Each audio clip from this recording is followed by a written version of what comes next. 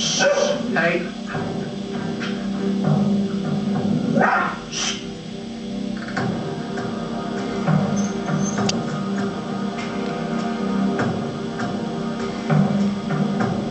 two targets are the neck of the spine. you know, especially when she's too intense, uh, targeting the neck.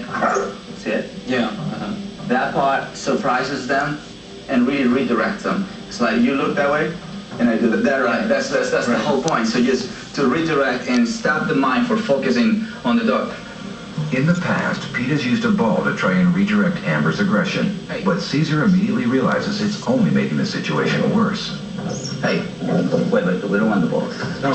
When you give a dog a toy, and if he's in an aggressive state of mind, and you give him a toy, you are actually helping him to accomplish killing the object or killing the target.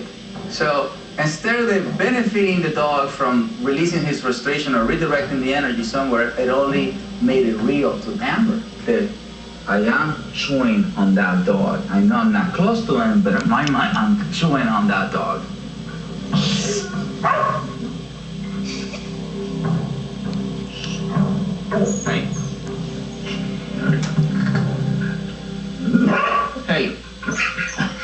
This is good.